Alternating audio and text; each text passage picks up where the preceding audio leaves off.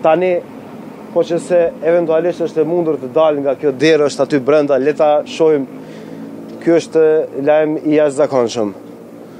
Edhe, naturisht që do të jetë ekskluzive për televizion dhe gazetarve për kanalin 10, po që se do të kemi mundësi të kemi qëndrimin, naturisht një nga miqtë më të mëdhenj, absolutisht të procesit të Kosovës në në në në përgjithësi pse jo të dimë se cilat janë cilat janë deklarimet deklarimet e tij ose qëndrimet e tij.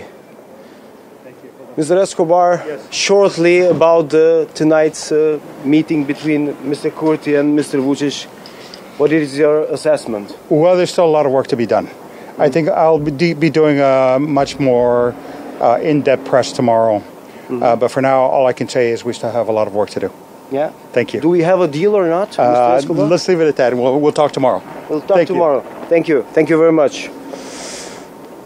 Ja ku është edhe ai që e konfirmon.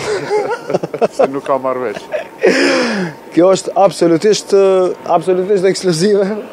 Ishte, ishte rastësisht, ishte rastësisht. Ishte rastësisht, po nuk është që... Nuk është që nuk e kemi planifikuar një gjë të tillë, do të thotë se... Ishte rastësishme, që ta kemi po, kontakte dhe me kolegët dhe si në shkuar. Po, po, e pyeta zotin Escobar, se cili është qëndrimi i tij